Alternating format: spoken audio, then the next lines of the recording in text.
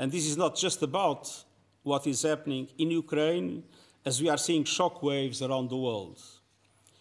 The dramatic acceleration of the increase of the prices for food and energy that was already taking place uh, in the last year are causing enormous suffering to hundreds of millions of the most vulnerable people worldwide.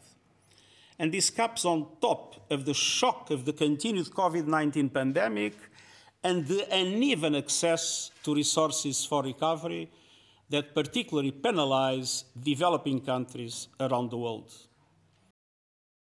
And abiding by the UN Charter and by international law, recognizing full equality among states, they hopefully will be an instrument that will allow us once again to come together as humankind and address the dramatic challenges we face, from climate change to epidemics and to many others, and in which the only war we should have would be a war of those that put the, the planet at risk.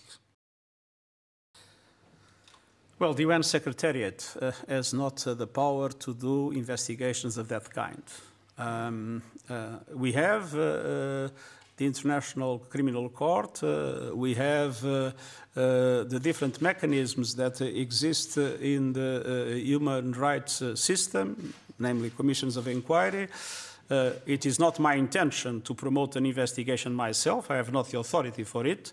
But I think it's very important to have independent investigations in order to have full credibility and full accountability. Uh, entirely respects and abides by all resolutions of the General Assembly and of the Security Council. And today, if I regret something, is that the UN was not allowed to be part of the uh, Normandy format to follow the Minsk agreement and to be able to form a very clear cut opinion about the failure of the Minsk agreement. I understand that the Russian Federation has uh, many grievances. But the UN Charter foresees a large number of mechanisms in which grievances can be addressed and namely with the recourse to uh, the International Court of Justice or other, other mechanisms if all the other uh, ones foreseen in the Charter fail.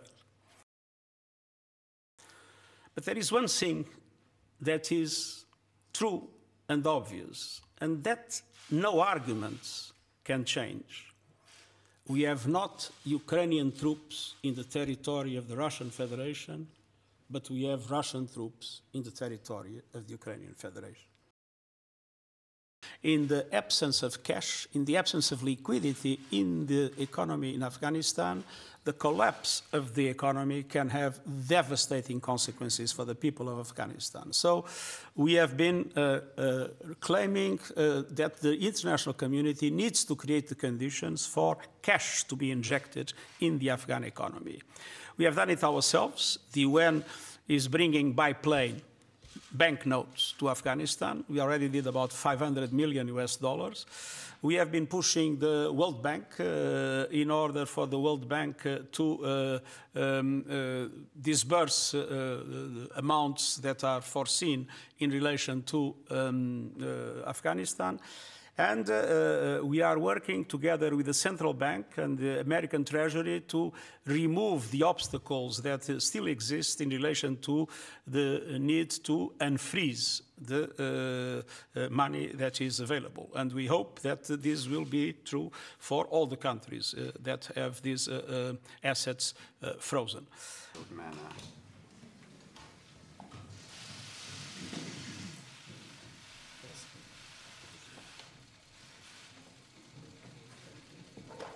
Thank you very much. Good uh, uh, afternoon.